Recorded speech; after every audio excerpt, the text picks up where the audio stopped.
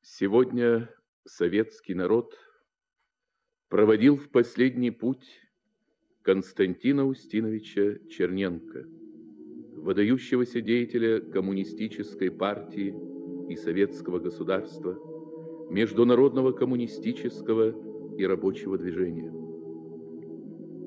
С утра через колонный зал вновь шли рабочие и служащие заводов и фабрик, работники учреждений и научно-исследовательских институтов, деятели науки и культуры, военнослужащие, труженики полей и ферм, учащаяся молодежь.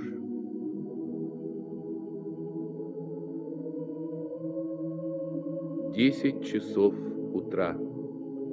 Отдать последний долг Константину Устиновичу Черненко в колонный зал Дома Союзов пришли товарищи Горбачев, Тихонов, Громыко, Гришин, Романов.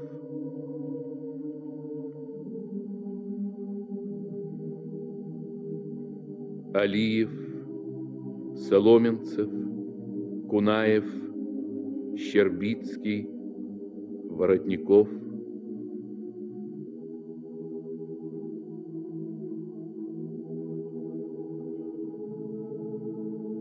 Демичев, Пономарев, Долгих, Кузнецов, Чебриков, Лигачев, Рыжков, Капитонов, Русаков, Шеварнадзе, Зимянин.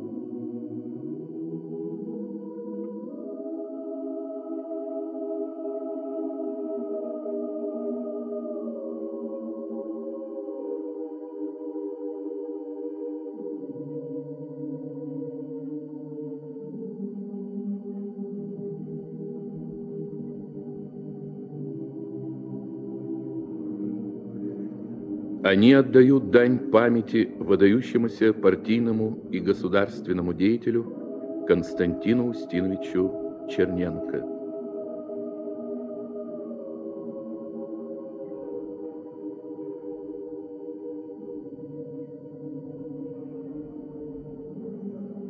Руководители коммунистической партии и советского государства выражают глубокие соболезнования родным и близким покойного.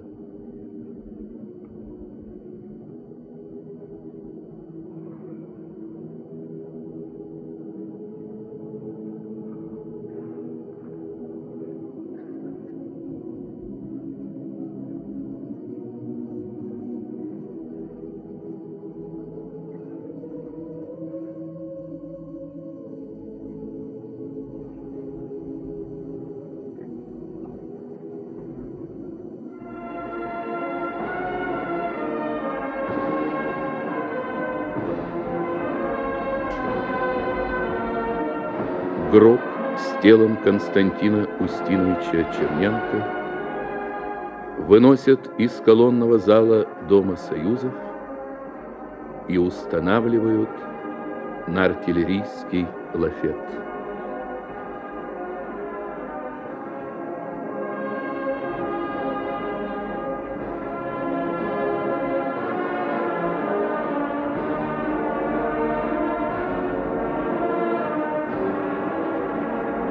Кортеж направляется на Красную площадь.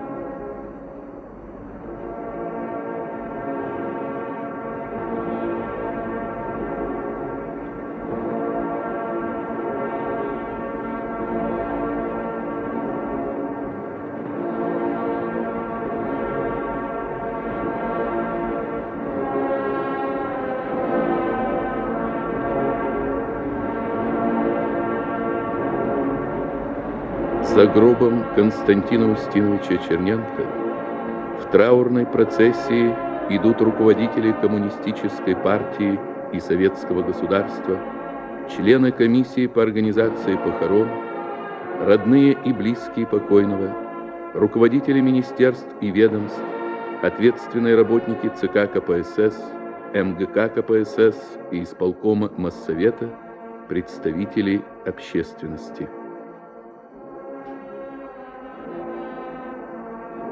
Впереди процессии множество венков. От ЦК КПСС, Президиума Верховного Совета СССР, Совета Министров СССР, союзных и автономных республик, краев и областей, от трудовых коллективов страны. Здесь же венки от зарубежных делегаций.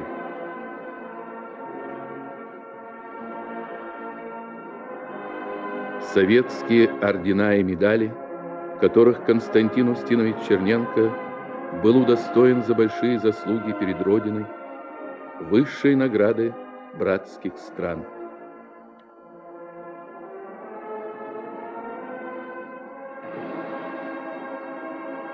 На Красной площади тысячи москвичей.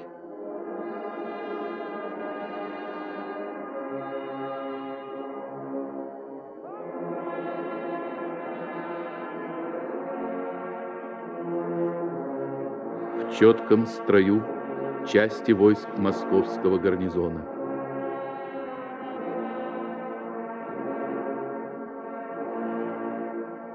Траурная процессия останавливается у мавзолея. Гроб с лафета переносится на постамент.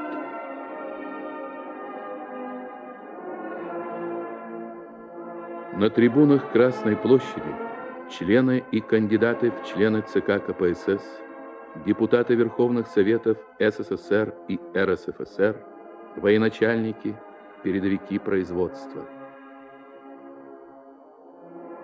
Здесь же многочисленные зарубежные делегации, прибывшие на похороны Константина Устиновича Черненко.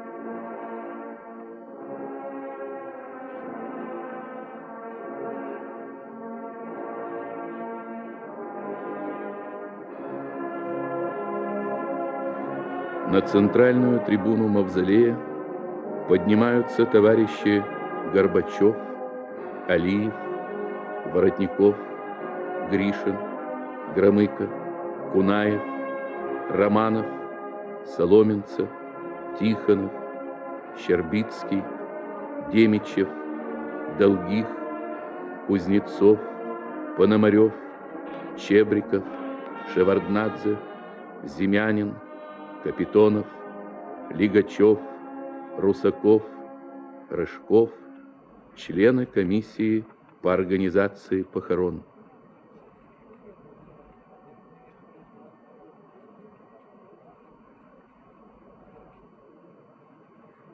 Траурный митинг открывает генеральный секретарь ЦК КПСС Михаил Сергеевич Горбачев.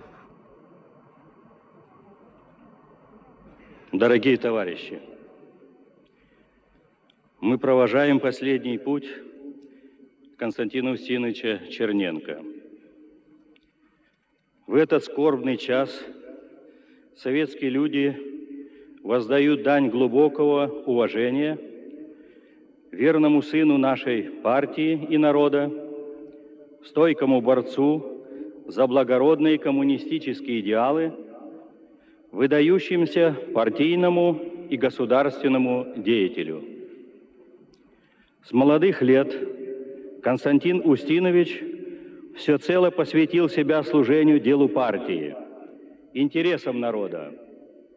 На каких бы участках партийной и государственной работы он не находился, на пограничной заставе, в Сибири или по Волжье, в Молдавии или в Москве, всюду Константин Устинович Черненко трудился с полной отдачей сил – выступал страстным пропагандистом марксизма-ленинизма, воодушевлял и сплачивал людей, умело направлял их усилия на большие полезные дела.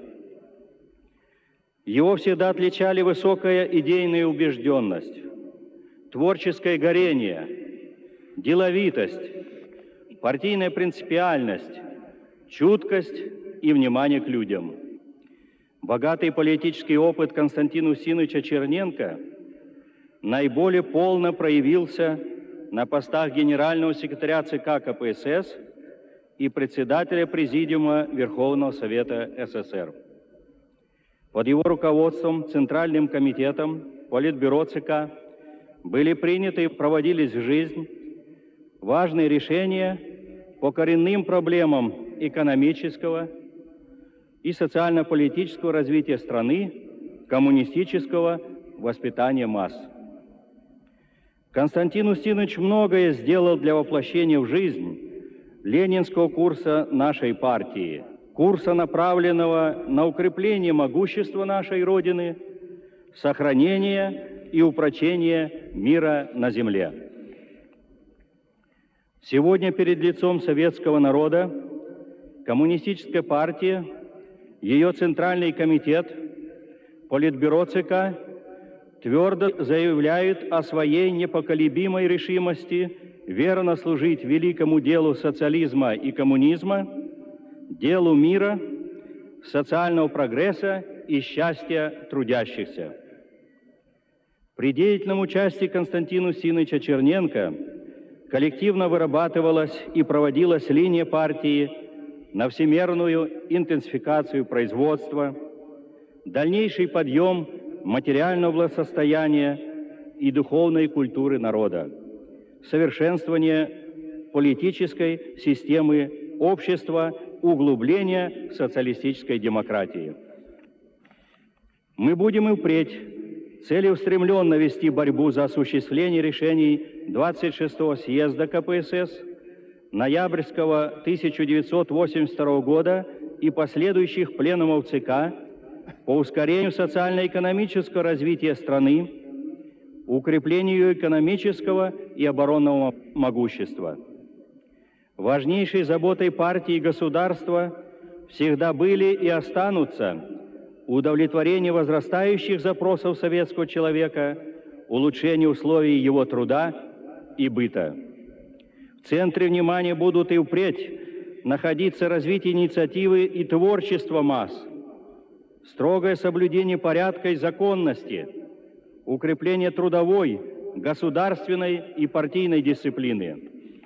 Мы будем всемирно поддерживать, поощрять и возвышать тех, кто не словами, а делами, практическими результатами проявляет свое честное и добросовестное отношение к выполнению общественного долга.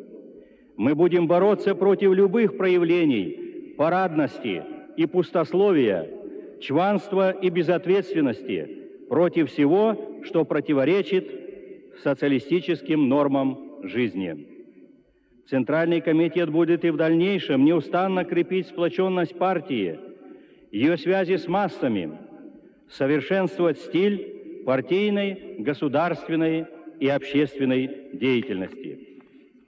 С именем Константина Усиновича Черненко – связаны осуществлением внешнеполитического курса советского государства, крупные миролюбивые инициативы, направленные на прекращение гонки вооружений, устранение угрозы мировой термоядерной катастрофы. Наша партия и государство будут и дальше наращивать усилия, чтобы сохранить мир.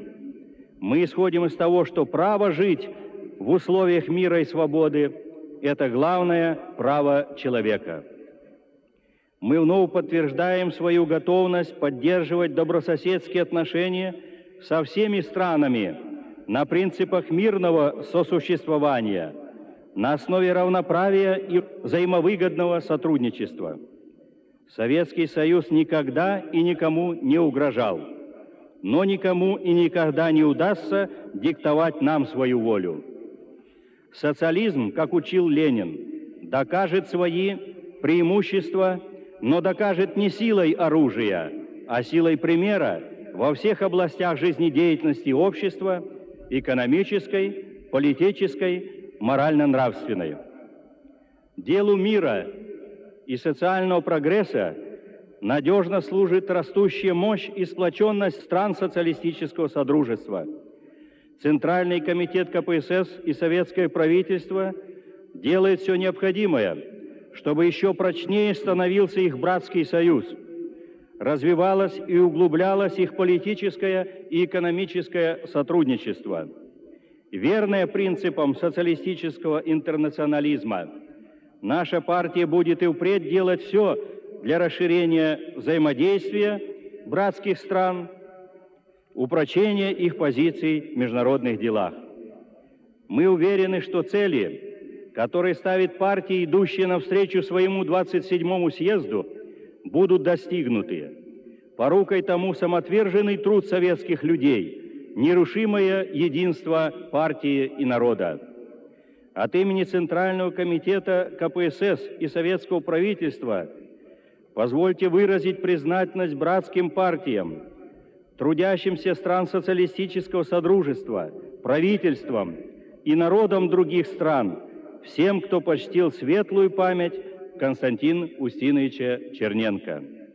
В этот час прощания с Константином Устиновичем хочу высказать искренние и глубокие соболезнования его семье и близким. Склоняя голову перед тобой, наш дорогой товарищ и соратник, мы обещаем неуклонно следовать курсам нашей ленинской партии. Служить ее делу значит служить делу народа. Этот свой долг мы выполним до конца. Прощай, наш дорогой Константин Устинович. Траурный митинг, посвященный памяти Константина Устиновича Черненко, объявляется открытым. Слово предоставляется члену Политбюро ЦК КПСС, первому секретарю Московского городского комитета партии, товарищу Гришину Виктору Васильевичу. Товарищи, коммунисты, трудящиеся Москвы, вместе с партией, советским народом, глубоко скорбят в связи с кончиной генерального секретаря ЦК КПСС, председателя Президиума Верховного Совета СССР Константина Устиновича Черненко. Он был верным сыном советского народа и служению ему посвятил свой талант, все свои силы. Трудящиеся Москвы хорошо знали Константина Устиновича Черненко. Он много раз бывал на московских предприятиях, встречался с рабочими, интересовался развитием экономики города, условиями труда, быта и отдыха москвичей, оказывал большую помощь городской партийной организации, советским органам в решении стоящих перед ними задач москвичи неоднократно избирали его депутатом Верховных Советов СССР и РСФСР. Глубоко переживая тяжелую утрату, трудящиеся Москвы полны решимости умножить свои усилия в борьбе за осуществление решений 26-го съезда партии, последующих пленумов ЦК КПСС – выполнении планов социально-экономического развития, в борьбе за дело коммунизма, которому посвятил всю свою жизнь Константин Устинович Черненко.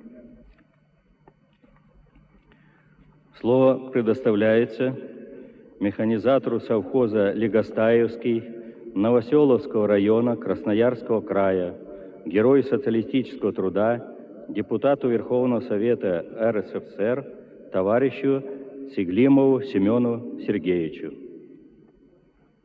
Уважаемые товарищи, на Енисейских берегах в далекие 20-е годы началась трудовая биография Константина Устиновича Черненко. Здесь получил он рабочую политическую закалку. С ранних лет познал он горькую батратскую долю.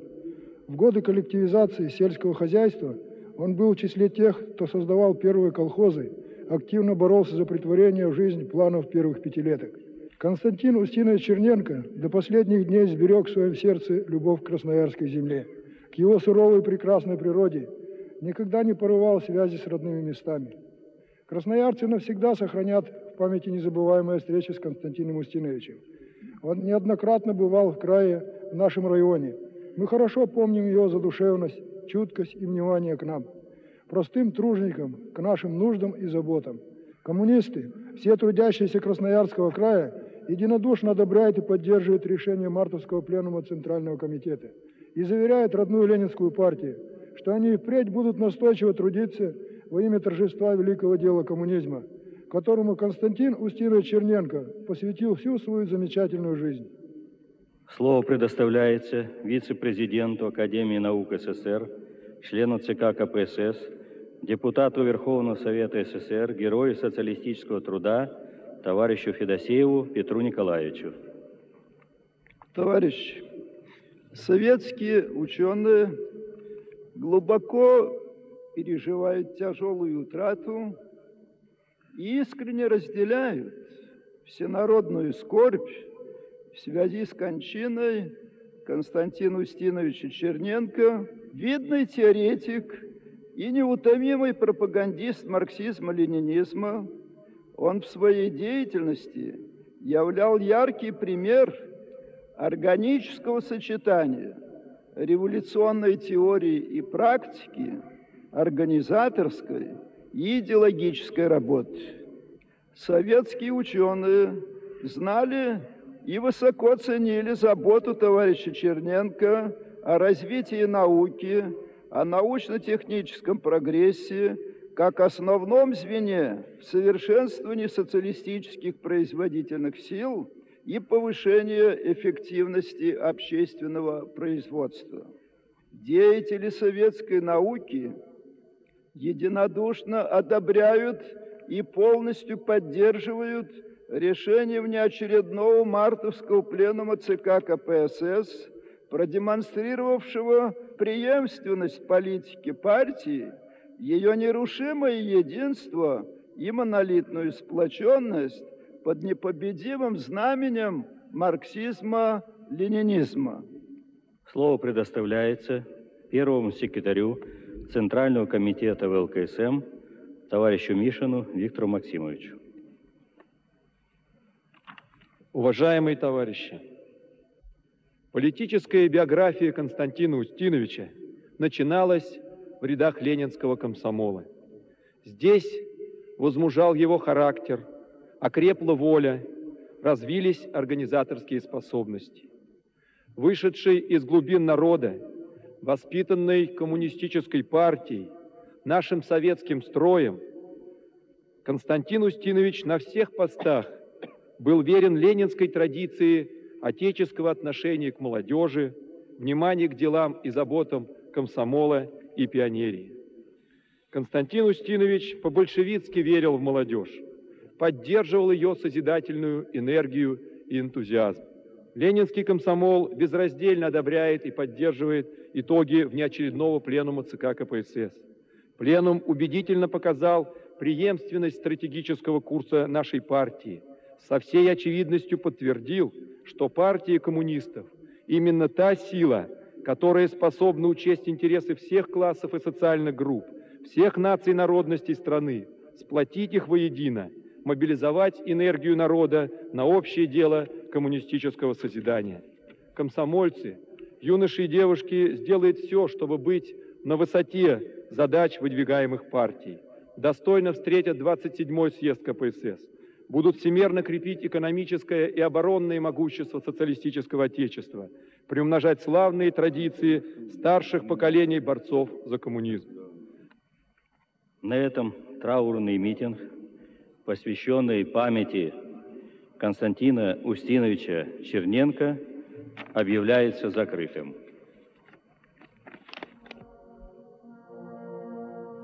Руководители коммунистической партии и советского государства подходят к постаменту с гробом Константина Устиновича Черненко. Процессия направляется к Кремлевской стене.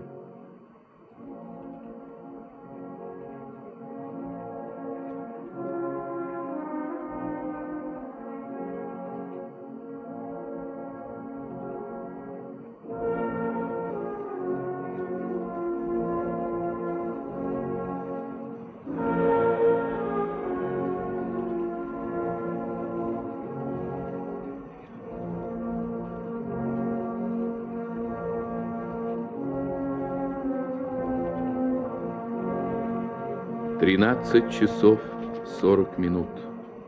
Гроб с телом покойного опускают в могилу.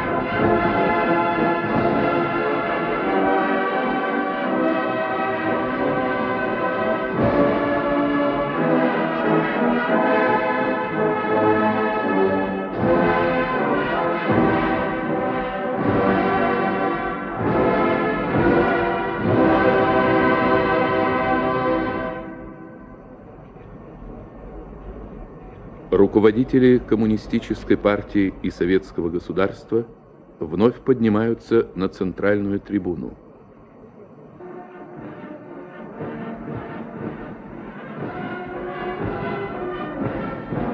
Перед мавзолеем в четком строю проходят части войск московского гарнизона.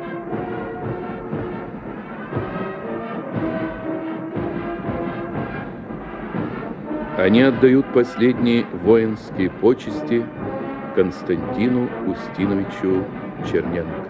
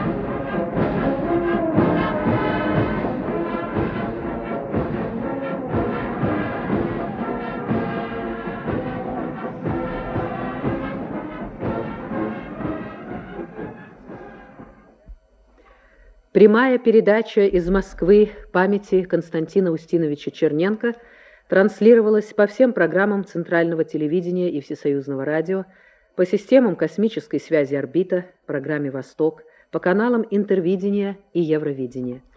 Прямую передачу из Москвы принимали более 45 телекомпаний из 29 стран мира.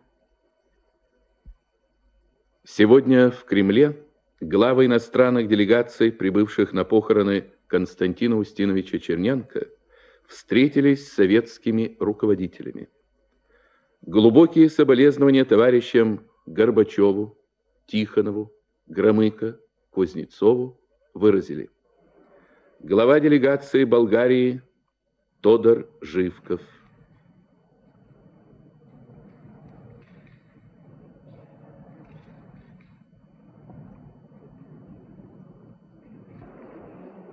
глава делегации Венгрии Янош Кадр, глава делегации ГДР Эрих Хонекер, глава делегации Румынии Николая Чаушеску, глава делегации Польши Войцех Ярузельский, глава делегации Чехословакии Густав Гусок.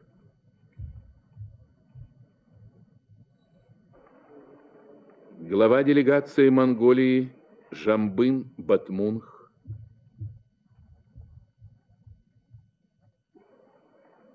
Глава делегации Кубы Рауль Кастро.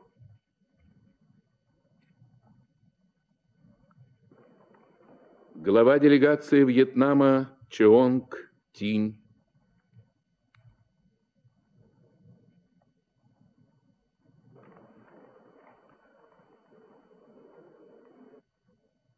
Глава делегации Лаоса Цуфану Вонг.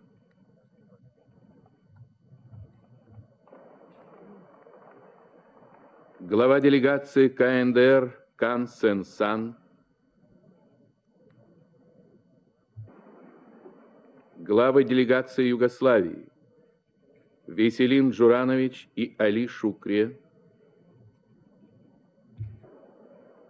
Глава делегации КНР ли Пен.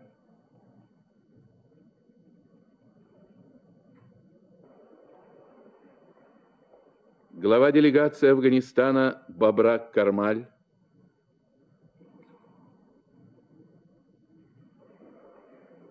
Глава делегации Эфиопии Менгисту Хайли Мариам.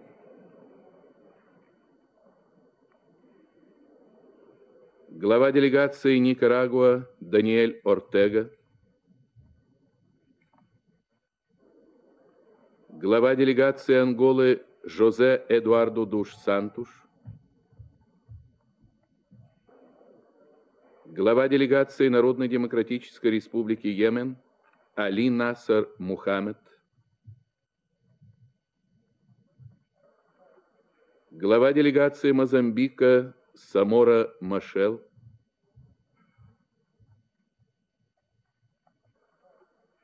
глава делегации Кампучии Хэнк Самрин,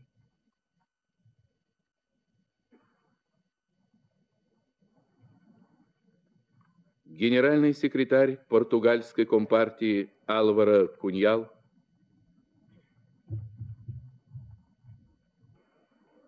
председатель германской компартии Герберт Мисс,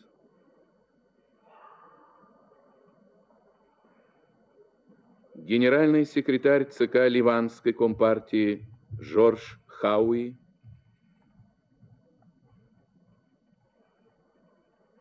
генеральный секретарь ЦК Компартии Греции Харилос Флоракис, генеральный секретарь Прогрессивной партии Трудового народа Кипра Акел Эзекиас Папо Иоанну, генеральный секретарь итальянской компартии Алессандро Натта,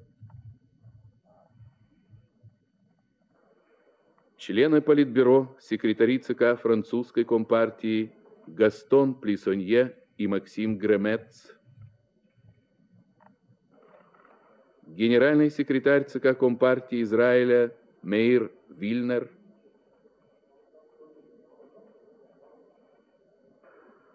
президент Народной организации Юго-Западной Африки СВАПО Сэм Нуйома, генеральный секретарь Африканского национального конгресса Южной Африки Альфред Нзо,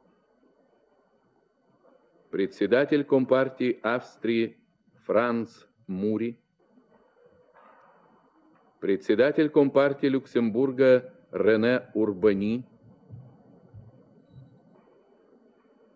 председатель Компартии Дании Йорген Янсен,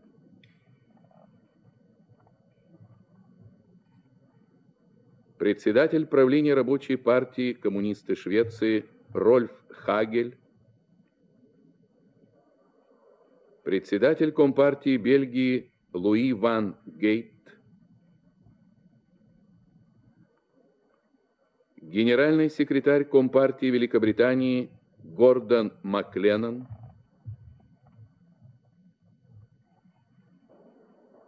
генеральный секретарь Компартии Канады Уильям Каштон,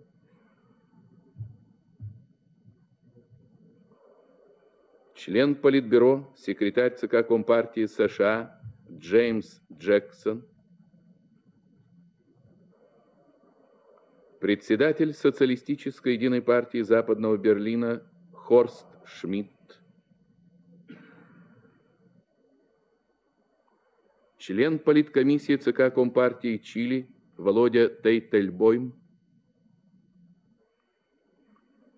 президент Всемирного Совета Мира Ромеш Чандра, премьер-министр Индии Раджив Ганди, премьер-министр Швеции Улов Пальмы, генеральный секретарь Организации Объединенных Наций Перес де Куэльер, премьер-министр Японии Ясухиро Накасона, президент Мальты Агата Барбара, премьер-министр Великобритании Маргарет Тэтчер, глава делегации Республики Филиппины Эмельда Маркос, премьер-министр Канады Брайан Малоруни,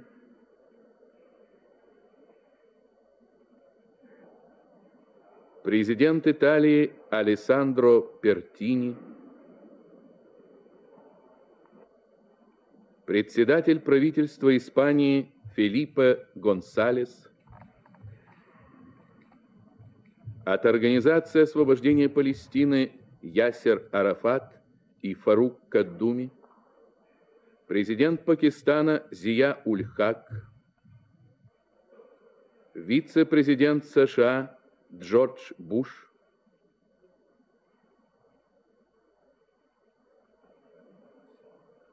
федеральный президент Австрии Рудольф Кирхшлегер, президент Финляндии Мауна Койвиста, федеральный канцлер ФРГ Гельмут Коль, президент Франции Франсуа Митеран, президент Ирландии Патрик Хиллери, а также делегации других стран, партий и организаций. Советские руководители выразили глубокую признательность всем главам иностранных делегаций, прибывшим в Москву почтить память Константина Устиновича Черненко, выдающегося деятеля коммунистической партии и советского государства, международного коммунистического и рабочего движения. Сегодня состоялась встреча генерального секретаря ЦК КПСС товарища Горбачева с главами партийно-государственных делегаций государств-участников Варшавского договора.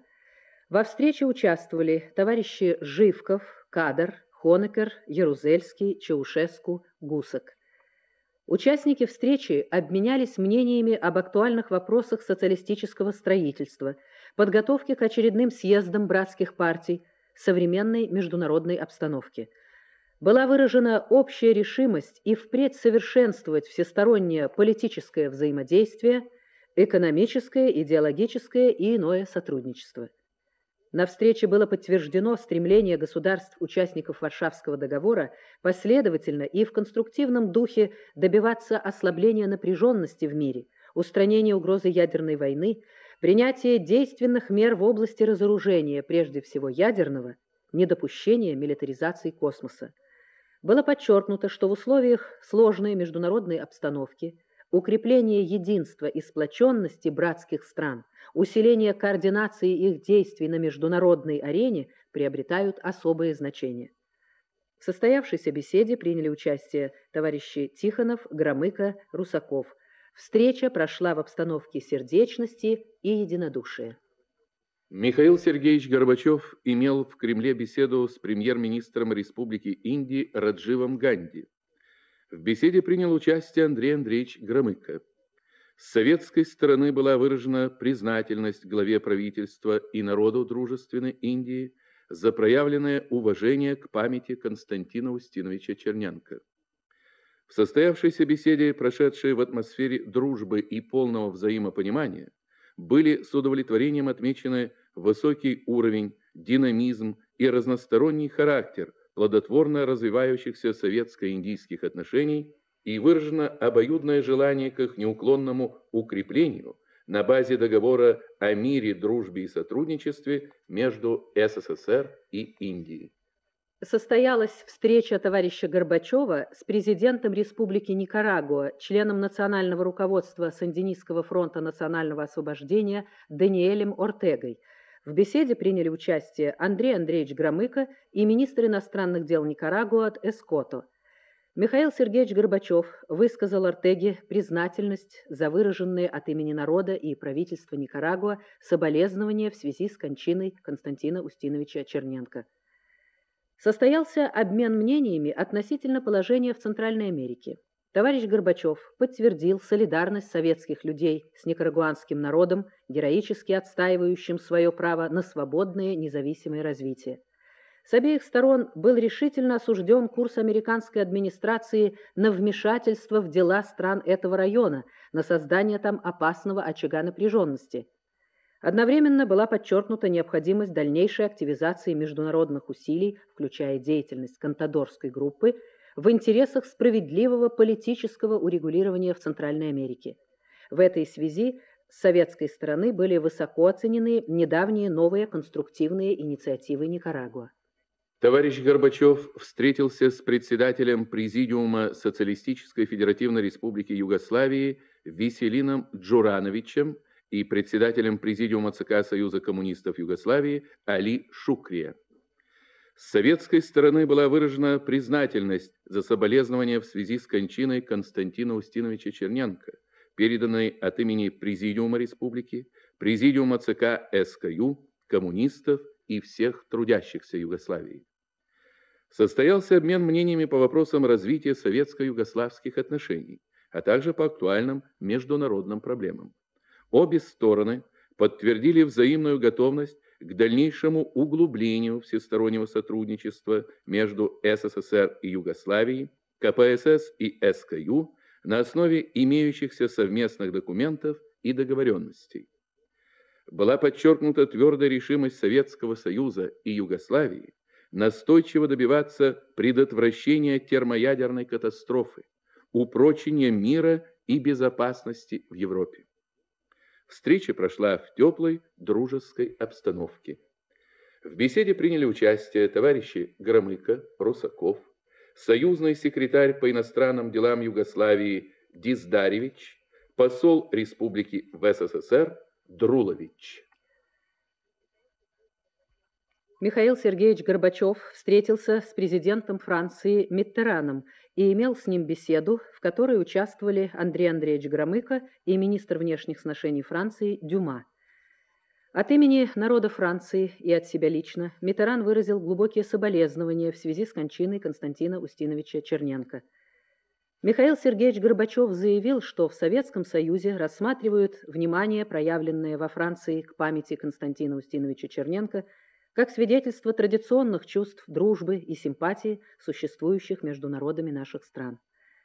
Отметив активизацию советско-французских отношений в последнее время, товарищ Горбачев и Миттеран высказались за продолжение и углубление политического диалога между СССР и Францией, являющегося неотъемлемым фактором нынешней международной действительности, в немалой степени влияющим на формирование политического климата в Европе и за ее пределами. Обе страны, как подтвердил обмен мнениями по ряду международных вопросов, выступают за возвращение к политике разрядки, приостановку гонки вооружений, поддержание равновесия сил на, возможно, более низком уровне. Состоялась беседа Михаила Сергеевича Горбачева с президентом Италии Алессандро Пертини. В беседе участвовали Андрей Андреевич Громыко и министр иностранных дел Италии Андриотти. Пертини от себя лично и от народа Италии выразил глубокие соболезнования по поводу кончины Константина Устиновича Черненко. Товарищ Горбачев высказал признательность за проявленное в Италии уважение к памяти Константина Устиновича Черненко. В беседе было подтверждено выраженное в ходе недавних советско-итальянских переговоров в Риме обоюдное намерение последовательно расширять двустороннее сотрудничество – включая политические контакты, с тем, чтобы способствовать восстановлению разрядки в Европе, снижению уровня военного противостояния на континенте, росту взаимного доверия между государствами. Обмен мнениями показал близость позиций Советского Союза и Италии в том, что касается неотложной необходимости предпринимать встречные усилия государств Востока и Запада по устранению угрозы ядерной войны, укреплению мира.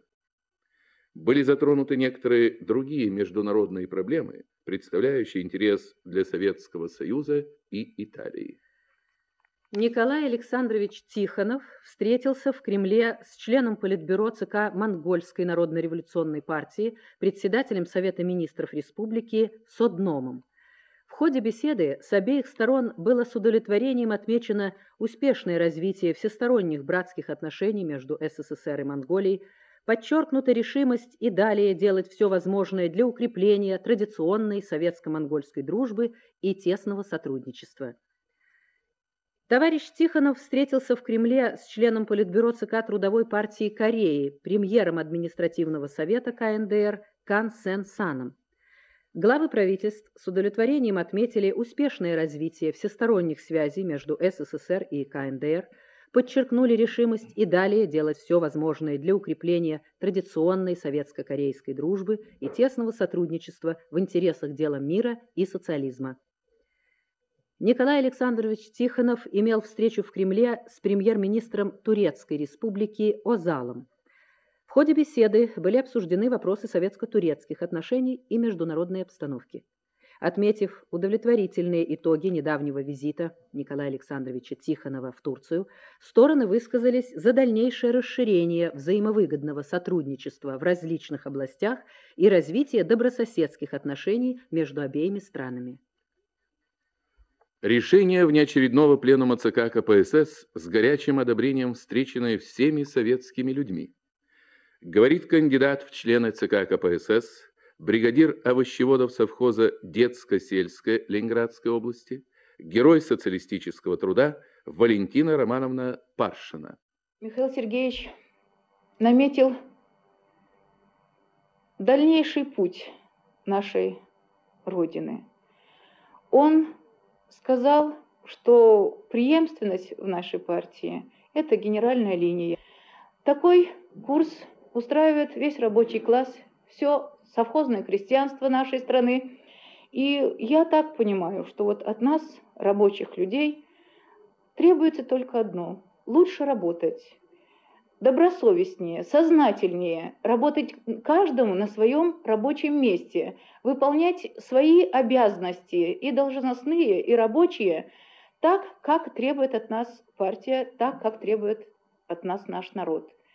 Именно об этом говорил Михаил Сергеевич в своей речи. Именно это мы должны знать и делать для того, чтобы выполнить курс нашей партии и нашего народа на улучшение, на дальнейшее улучшение жизненных, жизненного уровня нашей страны. Московский завод счетно-аналитических машин. Нынешний, завершающий год пятилетки, особенно напряженный для коллектива завода. Ведь совсем недавно здесь начат выпуск новых, уже четвертого поколения электронно-вычислительных машин. Здесь, в монтажно-сборочном цехе, работает одна из лучших бригад завода, комсомольско-молодежный коллектив Михаила Стукалова. Соревнуются они с другой комсомольско-молодежной бригадой монтажников, в которой бригадир, лауреат Государственной премии СССР Иван Федорович Синоцкий. Мы с глубоким удовлетворением восприняли а, решение внеочередного пленума Центрального комитета нашей партии об избрании генеральным секретарем ЦК КПСС товарища Горбачева Михаила Сергеевича. Особенно нам хочется э, подчеркнуть его слова, которые он сказал в своей речи. Нам предстоит добиться решающего поворота в переводе народного хозяйства на рельсы интенсивного развития. Мы должны, обязаны в короткие сроки выйти на самые передовые научно-технические позиции. Мы считаем, что это в полной мере относится к нашему заводу, потому что наш завод выпускает электронную вычислительную технику, которая необходима всему народному хозяйству и позволит выйти на новые рубежи всем отраслям промышленности. Мы уже хотим, чтобы поэтапно быстрее внедрялись в бригады научной организации труда, нормальное техническое, материальное снабжение, планирование, чем перспективное планирование бригадам. И это все поможет нам успешно закончить плановые задания текущего года и взять успешный старт на будущую пятилетку. Зарубежные средства массовой информации уделяют первостепенное внимание итогам внеочередного пленума ЦК КПСС, речам Михаила Сергеевича Горбачева на пленуме и на траурном митинге на Красной площади в Москве. Отмечается, что КПСС, ее Центральный комитет, Политбюро ЦК твердо заявляют о своей непоколебимой решимости верно служить великому делу социализма и коммунизма, делу мира, социального прогресса и счастья трудящихся. Советский Союз, передает болгарское радио, будет и впредь целеустремленно вести борьбу за осуществление решений 26-го съезда КПСС, ноябрьского 1982 года и последующих пленумов ЦК по ускорению социально-экономического развития страны, укреплению ее экономического и оборонного могущества. Речь советского руководителя на пленуме свидетельствует, что СССР намерен продолжать свою миролюбивую деятельность на международной арене, пишет югославская газета «Борба». Избрание Михаила Сергеевича Горбачева генеральным секретарем ЦК КПСС – лучшее доказательство преемственности и долгосрочного планирования советской линии.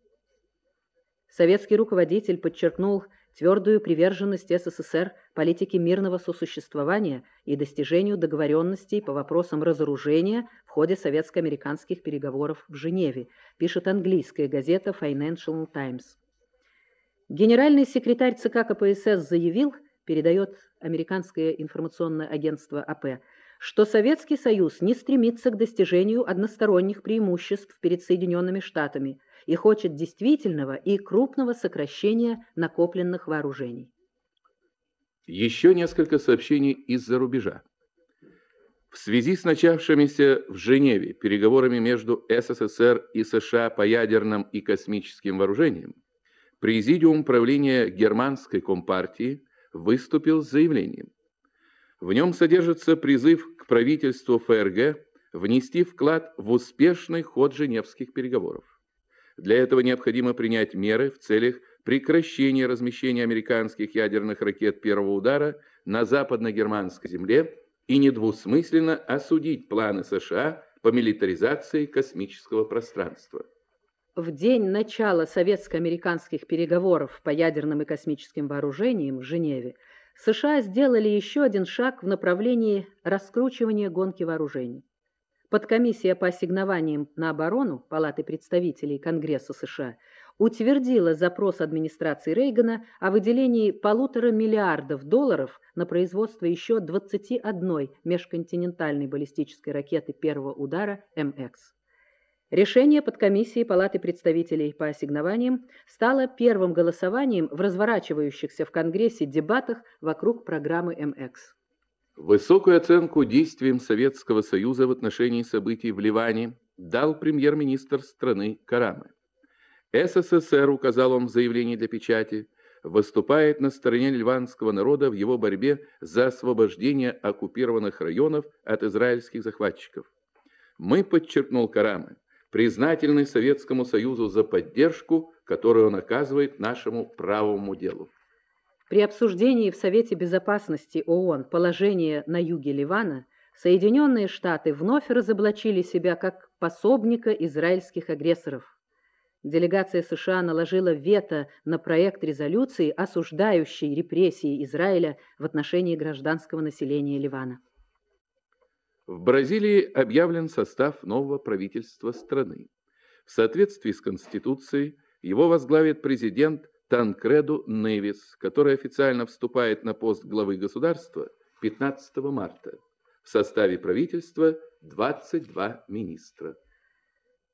Коротко о погоде в Москве. Завтра облачно, осадки, ветер юго-западный, температура ночью 3-5 градусов мороза, днем от 0 до плюс 2.